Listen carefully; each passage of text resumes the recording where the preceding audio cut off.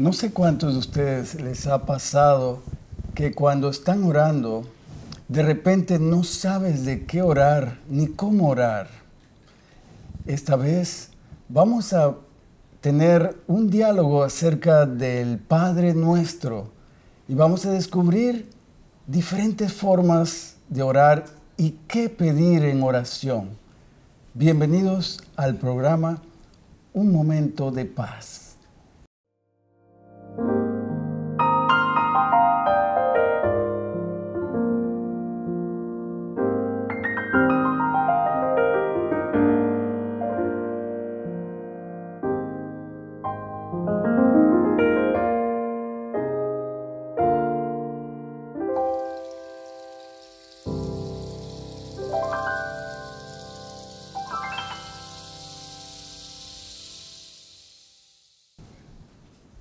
En esta ocasión tenemos una invitada muy especial. Bienvenida a este gran programa. Gracias, Momento de Pastor. Paz. Cuéntanos acerca de ti, Dunais. Ok, mi nombre es Dunais Marcilla Sánchez, soy eh, de origen cubano y estudio acá una licenciatura en teología. Muy bien, eh, qué bien que estudias teología. Pocas mujeres estudiando teología, ¿verdad? Sí. Pero qué bueno, sin duda que debes de ser una persona altamente espiritual. Y por lo tanto, nadie mejor que tú quizás para hablarnos algo sobre el Padre nuestro. ¿Cómo has experimentado esta oración en tu vida, Dunais?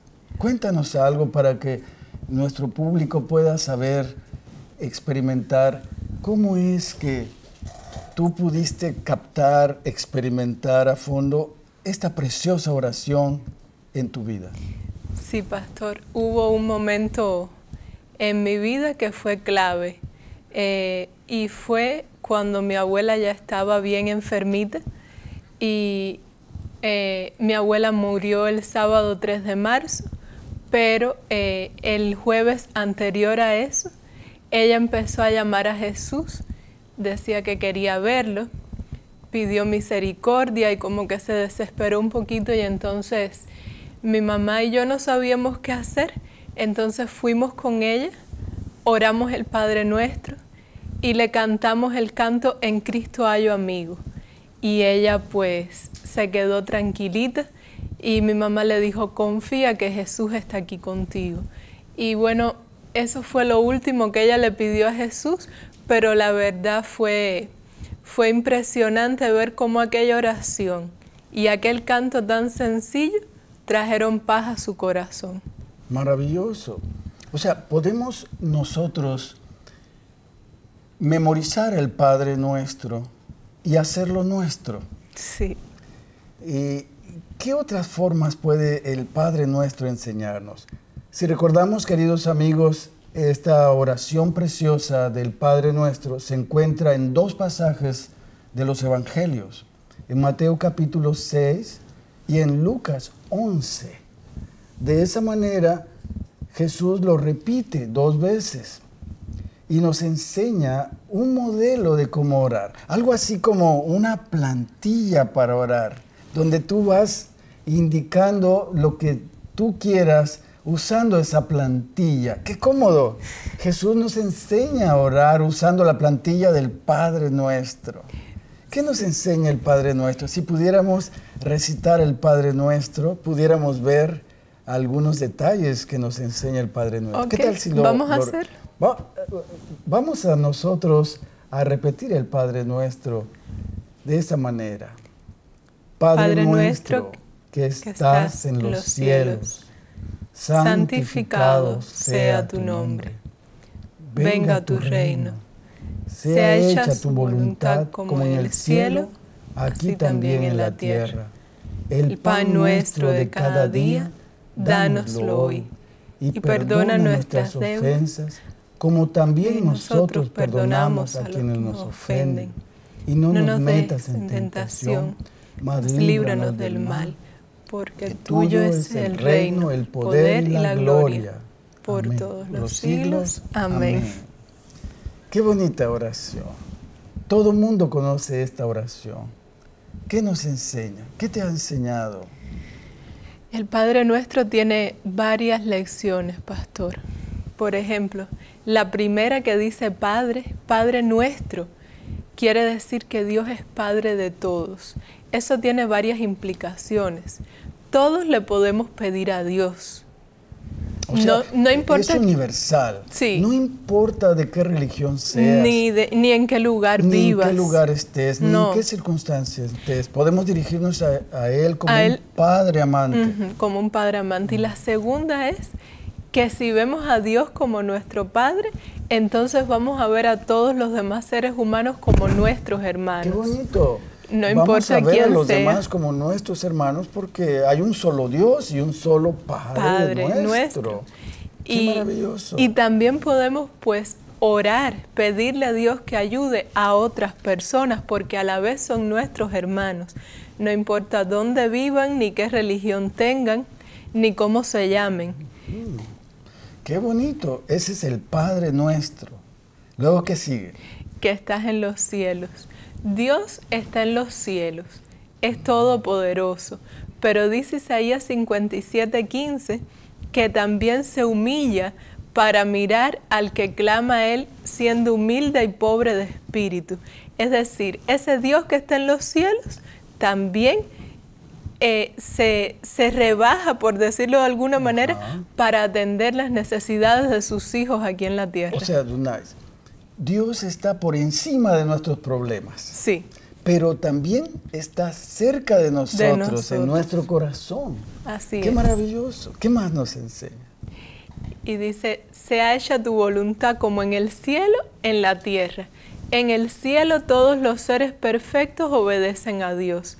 Entonces una lección que nos da es que también nosotros aquí en la tierra, a través de la oración, podemos aprender hacer la voluntad de Dios. Cuando tenemos que tomar una decisión difícil, no importa cuál sea la decisión que tenemos que tomar, oramos y le decimos, Dios mío, guíame muéstrame cuál es tu voluntad, cuál es tu camino y no tenga miedo, Dios lo va a guiar. Sea sincero en su petición y pídalo siempre en el nombre de Jesús. Eso me hace recordar una gran promesa, uno de los versículos favoritos, mis versículos favoritos. Es realmente maravilloso. Proverbios 3, del 5 al 7. Estimado amigo, amiga, que nos escuchas, que nos ves, te aconsejo que veas este versículo. Este versículo dice así, fíate de Jehová de todo tu corazón y no te apoyes en tu propia prudencia. Reconócelo en todos tus caminos y Él enderezará tus veredas. No seas sabio en tu propia opinión. Teme a Jehová y apártate del mal. Y será medicina para tus huesos y fortaleza para tu cuerpo. ¡Qué promesa! Cuando hacemos del Padre nuestro y de su voluntad la nuestra, ¿no? Así es. Que es muy importante. ¿Qué más nos enseña? También dice que, eh, que estás en los cielos, así también en la tierra. Y dice, el pan nuestro de cada día, dánoslo hoy. Es decir, Dios se preocupa por nuestra vida espiritual, por cómo nos sentimos emocionalmente, pero también Dios se preocupa por nuestras necesidades físicas y cotidianas. Cuando tengamos, cuando hayamos tenido un problema en el trabajo o pues tengamos alguna necesidad de algún tipo, aún económica, aún física, las personas dicen, ¿cómo le voy a pedir a Dios por eso, verdad?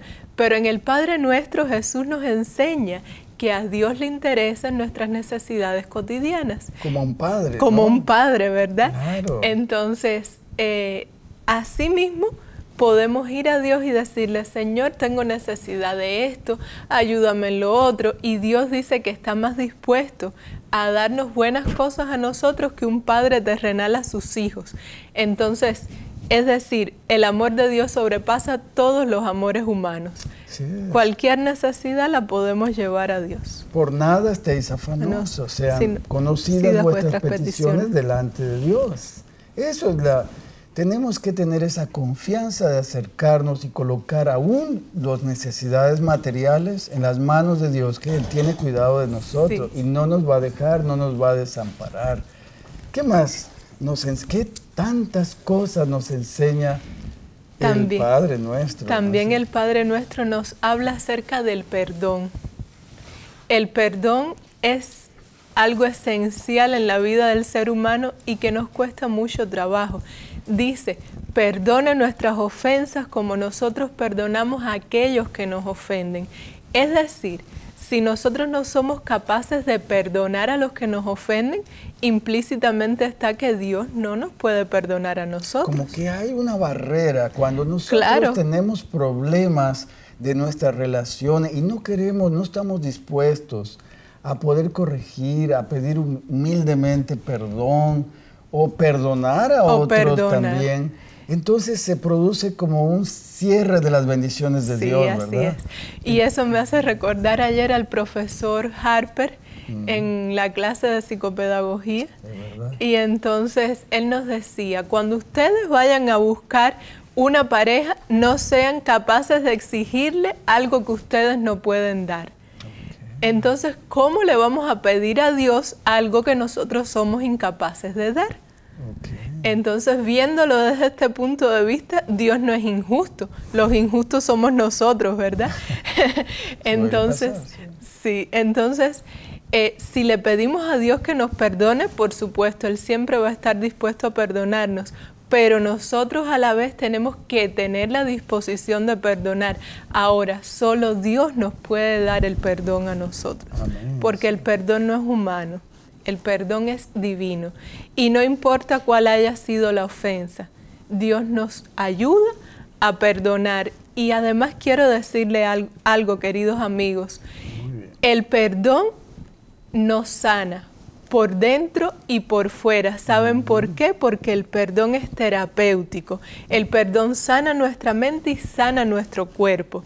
Cuando no perdonamos nos enfermamos de úlceras, gastritis, de hecho, hay hasta algún que otro estudio pues que lo asocia hasta con problemas de hemoglobina, profe. Sí, tanto así. Sistema inmune sistema inmune. sistema inmune. Entonces. Y se altera la longevidad del ser humano, inclusive. También, Estudios inclusive. empíricos científicos han probado esto. De hecho, dice que cuando las personas están molestas, contraen su rostro y contraen 73 músculos del rostro. Mm. Cuando una persona está feliz, se activan 43 músculos de pues su cara. Hay que activar los 43 músculos ¿cómo no?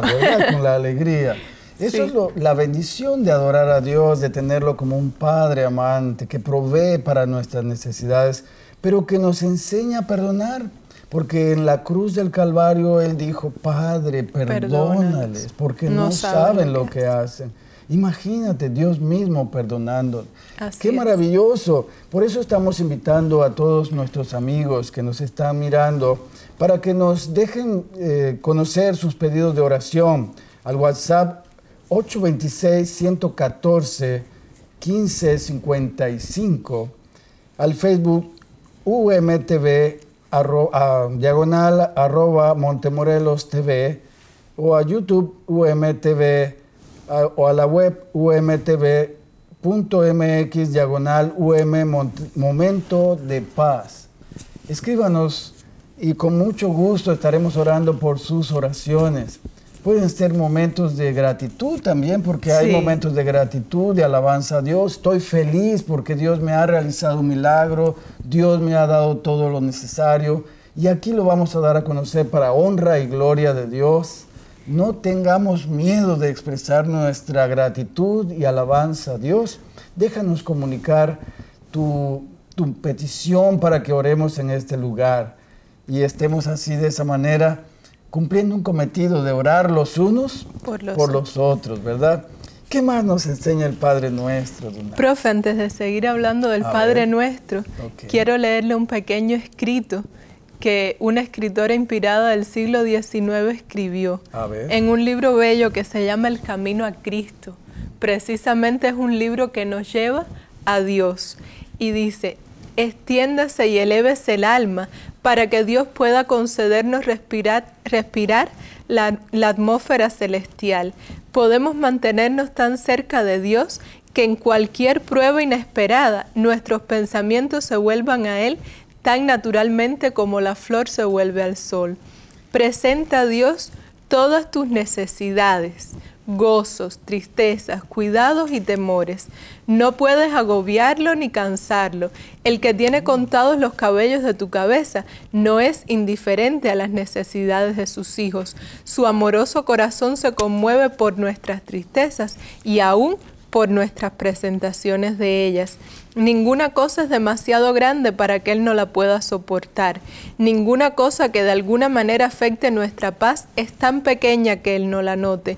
No hay en nuestra experiencia ningún pasaje tan oscuro que Él no lo pueda leer ni perplejidad tan grande que él no pueda desenredar, ninguna calamidad pueda acaecer al más pequeño de sus hijos, ningún gozo alegrar, ninguna oración sincera escapar de los labios, sin que el Padre Celestial esté al tanto de ello, sin que tome en ello un interés inmediato. Él sana a los quebrantados de corazón y venda sus heridas. Las relaciones entre Dios y cada alma son tan claras y plenas como si no hubiese otra alma sobre la tierra a quien brindar su cuidado, otra alma por la cual hubiera dado a su Hijo amado. Imagínate, qué inmenso cariño Dios nos tiene. No podemos dudar de Él. Debemos constantemente subir nuestras oraciones, necesidades, alabanza, gratitudes, constantemente a Él. Que nuestro corazón respire la atmósfera del cielo a través de la oración, ¿no es cierto? Qué herramienta tan hermosa y tan poderosa, ¿no es cierto? ¿Qué más nos enseña el Padre nuestro? Dice, líbranos de la tentación. Muchas veces tenemos diferentes tentaciones, profe. Eh, tentaciones, todos, todos. Tentación. es aquel deseo de hacer lo malo. Y entonces el Padre nuestro le dice a Dios, por favor, líbranos del deseo de hacer cosas malas. Y yo creo que todos los seres humanos tenemos esos malos deseos, ¿verdad? Pero si le pedimos a Dios que nos libre de ellos, pues Dios también nos va a librar. Pero también hay otra versión que dice, líbranos de que el mal nos toque. Es decir, Dios nos libra a nosotros de hacer cosas malas, pero también nos libra de que nos sucedan muchas cosas como malas. Que Dios coloca un cerco, de protección espiritual cuando que mantiene a rayas a Satanás de tu vida, de tu familia. Cuando uno ora, Dios protege a sus hijos. Y por ello es tan importante. ¿Qué diferencia podría hacer un padre con sus hijos? si los padres pudieran orar más frecuentemente por ellos. Qué cerco protector tan poderoso de ángeles alrededor cuidándoles, ¿no le parece? De hecho, hay un secreto. Antes que los hijos salgan para la escuela, cada padre debería orar con sus hijos para que Dios los proteja en ese día. Y cuando sus hijos regresen de la escuela, pues darle gracias a Dios porque ya los protegió en ese día. Y esto hace un cerco, como decía el pastor Esteban, alrededor de sus hijos y los libra de las influencias malas que hay en nuestro alrededor, en nuestro mundo, y los libra también de tomar malas decisiones en su vida. Exactamente, es maravilloso todo el Padre nuestro nos lleva siempre a alabar, engrandecer, pedir protección, bendición a Dios y una consistente necesidad de Él, una cercanía de protección, una necesidad de su protección y bendición. Fíjate que hasta nos dice que en cierta manera el alimento que tenemos hoy es un don de Dios que debemos dar todos los días que comamos. Gracias a Dios por los alimentos. Gracias a Dios por el alimento. Sí. Gracias a Dios por la lluvia. Sí. Gracias a Dios por las amistades, ¿verdad? Gracias a Dios por la familia. Gracias a Dios por el trabajo. Gracias a Dios por los amigos. Gracias a Dios porque estamos vivos. Yo les digo a mis alumnos, pellizquense de vez en cuando, porque eso es muy importante saber que estamos vivos y la, vida es un don divino. Seguro. Así que invitamos a todos nuestros amigos a que nos envíen sus pedidos de oración si estás pasando por momentos difíciles, si tú tienes realmente un momento de, de desesperación, de angustia con tus hijos, si de alguna manera ellos están en malos caminos y sientes una gran carga en tu vida, si estás pasando por momentos oscuros, de soledad, de angustia, de vacío. Déjanos escuchar tu pedido de oración. Envíanos al WhatsApp 826-114-1555 y en Facebook UMTV arroba, diagonal arroba Montemorelos TV o al YouTube UMTV, web UMTV, umtv.mx, diagonal UM, un momento de paz. Escríbanos sus pedidos de oración. Vamos a leer algunos de ellos. Sí. Vamos a leer, aquí tenemos unos cuantos pedidos de oración, muchas gracias. Por favor, si me ayudas. Sí, cómo no. Eh, tenemos, vamos a orar por Andrés para que deje los malos hábitos. Eh, no nos dice la hermana Pérez qué hábitos, pero Dios sí conoce los pedidos de oración y las necesidades del alma.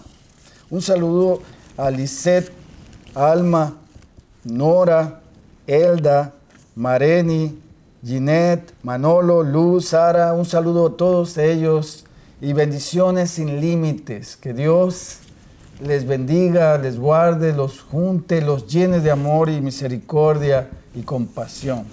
¿Hay algo más? ¿Tenemos? Sí, la familia Castellanos Rodas quiere que oren por ellos y por un proyecto de trabajo que tienen. Ángeles Castellanos pide que se ore porque está lloviendo mucho en Dallas, Texas. Ok. Ok. Y Ana pide oración por Marisa, su mamá que salió del hospital y ya está en su casa para que se pueda seguir recuperando.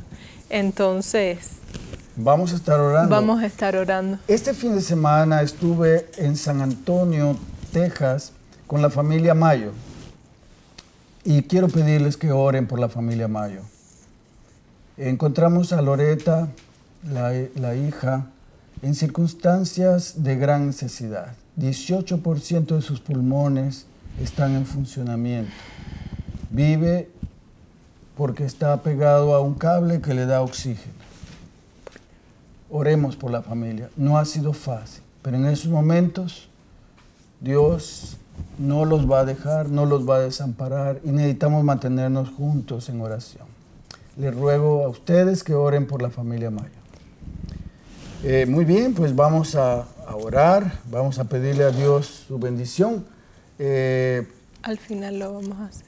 al final, sí, vamos a, vamos a pedir a Dios su bendición. Y el Padre Nuestro, ¿cómo termina el Padre Nuestro? El Padre nuestro termina porque tuyo es el reino, el poder y la gloria por todos los siglos. Amén. Es decir, cuando le pedimos a Dios algo, podemos confiar en que Él es el Todopoderoso, el que todo lo puede, el que vive por los siglos de los siglos. Entonces nuestros pedidos están en buenas manos. Nosotros so- no lo podemos todo, pero Jeremías 32, 27 dice, yo soy Jehová, Dios de toda carne. ¿Habrá algo que sea difícil para mí? Y Lucas 18, 27 dice, para Dios no hay nada imposible. Para Dios no hay nada imposible. Si tan solo pudiéramos creer en su amor y bondad y provisión, Él nos daría todas las cosas más de lo que esperamos o entendemos. Así es. Porque como está más alto el cielo de la tierra, sus, pensamientos, pensamientos y sus bondades y bendiciones son más altos. Pero no oramos, no pedimos en oración y no recibimos. Como que los tesoros del cielo se quisieran derramar sobre nosotros, pero no tenemos la fe suficiente. Sería bueno pedir a Sí. Dios fe, ¿no te parece? Sí, Mateo, Mateo 7, 7 dice, pedid y se os dará. buscad y hallaréis, llamad y se os abrirá, porque el que busca, halla, el que pide, recibe, y al que llama se le abre. Así que tomemos estas promesas, queridos amigos, y vamos a orar. Un saludo a Almanza Castañeda, que nos tiene en Facebook, y a Sara Peralta también. Saludos a Sara y también a Almanza Castañeda. Daniel pide por la familia González Valderas, no dice el asunto, pero Dios lo conoce, igual vamos a estar orando por esta familia. Muy bien, pues vamos a orar. ¿Qué te parece si hacemos una oración? ¿Quieres dirigirnos en oración? ¿Sí? ok. Vamos a orar entonces. Oremos. Gracias Padre amado que estás en los cielos. Gracias por cada una de las bendiciones que nos has dado en este día y gracias sobre todo Señor porque nos has permitido estar hoy aquí. Te estamos pidiendo que seas con todas las peticiones que se han puesto delante de ti, Señor. Sabes que hay varias personas que han hecho peticiones, otras tienen agradecimientos en su corazón y te pedimos que tú seas con cada uno de ellos, que seas con los enfermos, Señor, que seas también con las personas que piden por proyectos de trabajo. Te pedimos que cada uno de aquellos que ha puesto su confianza en ti en este día no salga defraudado, porque sabemos que tú eres el Dios Todopoderoso que contesta nuestras oraciones, Señor. Te lo estamos poniendo todo en tus manos para que tú lo respondas conforme sea tu santa y divina voluntad, Señor. No somos nadie, Señor. No tenemos nada. Pero todo esto te lo pedimos y te lo agradecemos en los méritos y en la sangre de Cristo Jesús. Amén. Amén. Qué hermoso es orar. Queridos amigos, la oración es el que nos pone en los depósitos celestiales al alcance de nosotros para poder tener todas las riquezas que Dios nos quiere ofrecer. Así es. ¿Por qué no oramos más? Debemos orar más. Que Dios bendiga cada uno de nuestros hogares y familias y que así Dios pueda dar un cerco protector, pueda proveer abundantemente, porque me temo que somos muchas veces nosotros los que obstaculizamos a Dios de darnos las bendiciones sin límite que Dios quiere darnos a todos, sencillamente porque no oramos, no pedimos, no llamamos, no clamamos, no alabamos a Dios. Así es, profe. Y aunque Dios es todopoderoso, tengamos en cuenta que como Padre amoroso nos puede dar tres respuestas. Un sí inmediato, un espera o un no, pero siempre confiemos que lo que Él nos diga y sus planes para nosotros son mejores que los nuestros. Quiero dejarlos con Jeremías 29:11, donde Dios dice que tiene planes para cada uno de nosotros de futuro y esperanza. Que Dios los bendiga. Ha sido un gusto estar con ustedes acá. Que Dios les bendiga a todos. Que pasen muy bendecidos momentos en compañía de Dios en su familia. Que Dios bendiga y los esperamos la próxima ocasión con un momento de paz. Bendiciones para ustedes.